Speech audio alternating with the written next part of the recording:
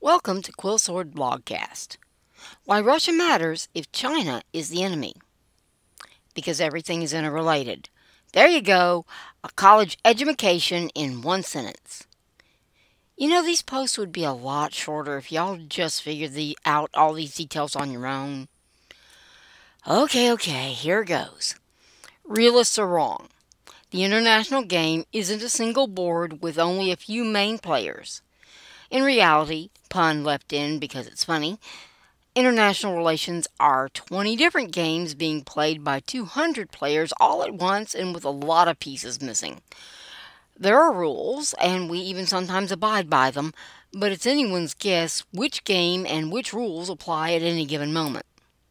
So while we're concentrating on playing checkers with China, Russia's playing dodgeball with us you can see why taking your eye off the ball might be a bad idea.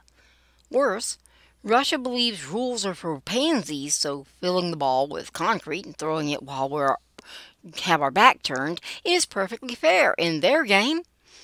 International relations is a very interesting and exceedingly painful game. It's definitely not for wusses. For those of you who think NATO expansion caused the Ukrainian war, two things. First, Kaliningrad.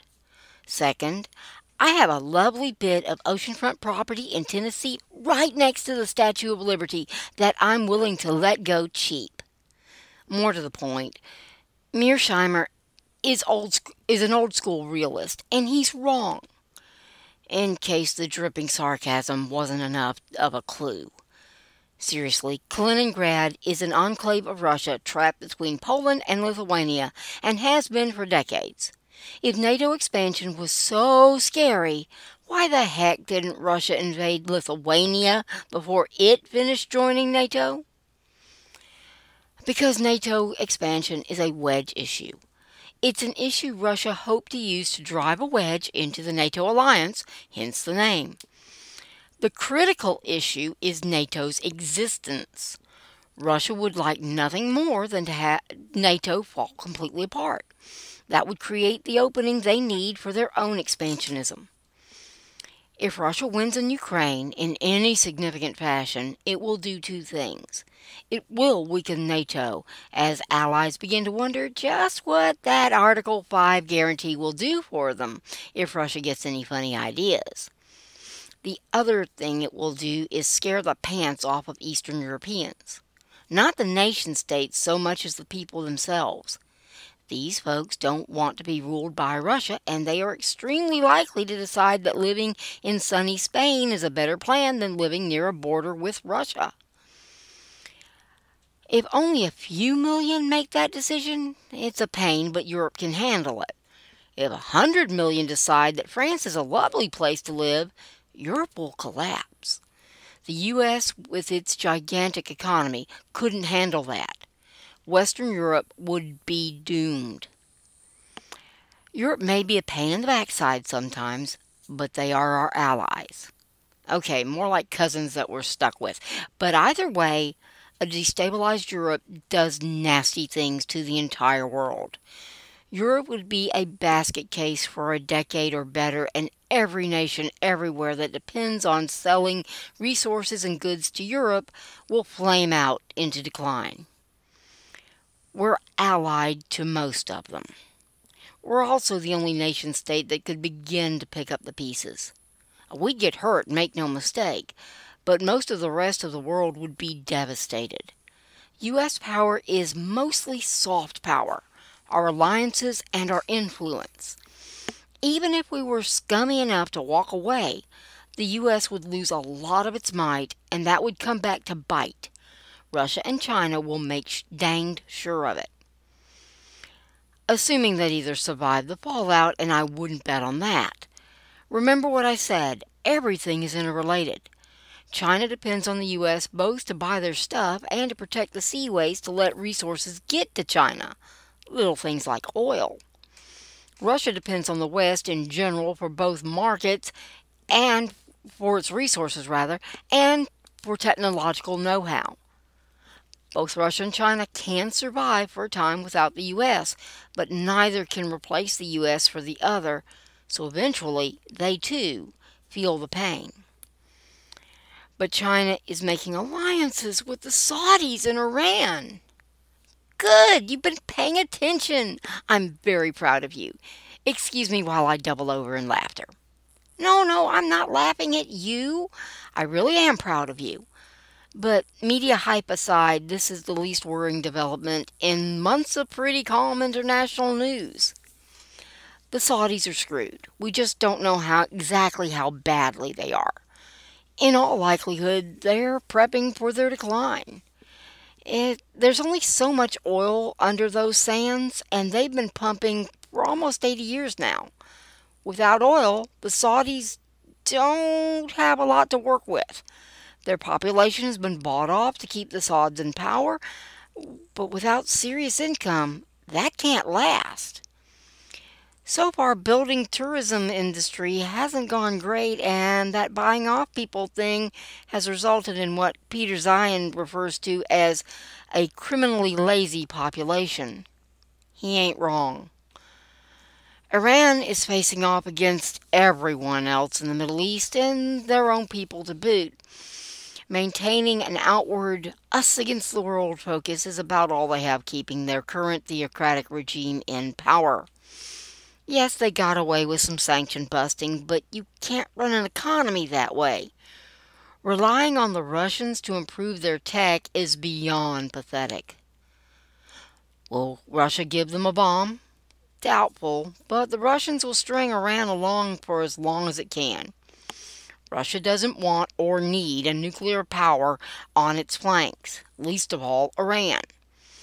Iran is not known for its common sense. Plus, both the Taliban and Pakistan would gleefully destabilize Iran if they got the chance, which is down the road a down the road risk that Russia can live without. Now, if Russia can get Persian Gulf access, that would be different. Big if at the moment. China brings cash to the party. For now but China's national debt makes the U.S. look almost sensible by comparison. Understand, nation states don't go bankrupt. There's no mechanism for that. But they can run out of money and collapse. The Saudis need cash, Iran needs a market, China needs oil. Should work, huh? Not really. What everyone forgets is that China does not have a blue water navy. When, not if, Iran and the Saudis start shooting at each other again, China cannot protect the Strait of Hormuz. The only ally of the U.S. in this mess is Saudi Arabia. What do you think will happen when they call on the U.S. to get their oil to China? Exactly. So why bother with the alliance? China gets street cred. The Saudis get cash and probably some influence in the Chinese sphere, such as it is. Iran just gets more legitimacy, kinda. It looks good on paper and sends a message to the U.S. As long as they don't actually make the U.S. mad, it's fine. Well, if the message they intended to send was, we're getting desperate, it, it's all good. I suspect the Saudis are afraid the U.S. will go on one of its isolationist bents, and they're hoping to gain some inroads with China. The more concerning possibility is that the Saudis are looking at invading Iran in the future. Uh, they would need the U.S. out of the way. We're literally keeping them separate now, and they would absolutely need China's military support. They may need that anyway. The Saudis haven't been playing nice with their neighbors, and the U.S. has voiced its concerns. If the Saudis are running out of oil and are concerned that the U.S. will get all realist on them, they may be looking for China to fill the void as the U.S. will leave it if it decides that the Middle East is no longer a concern for the United States.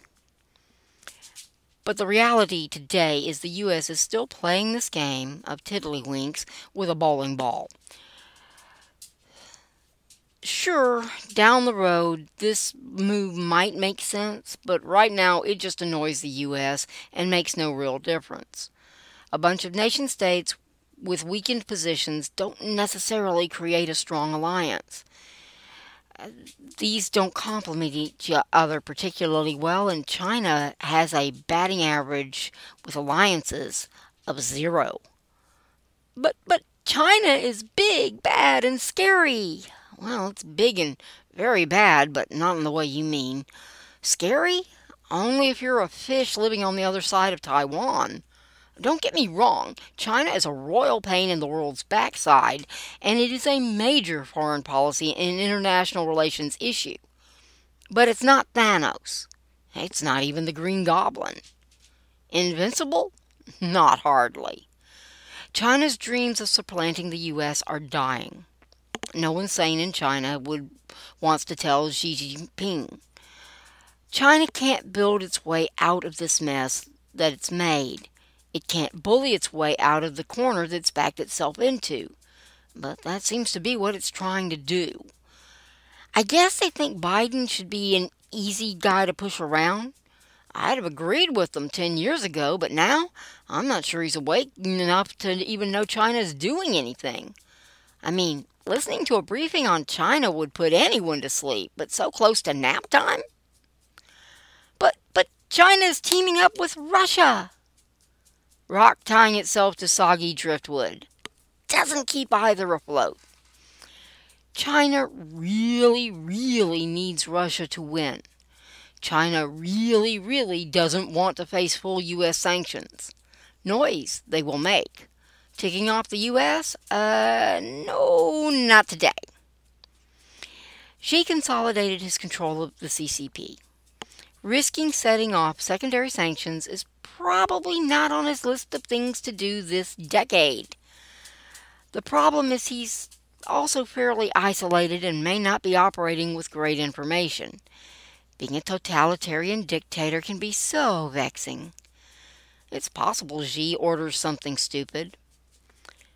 But given his penchant for shooting innocent fish rather than risking confronting the U.S., I doubt it. Poor fishies.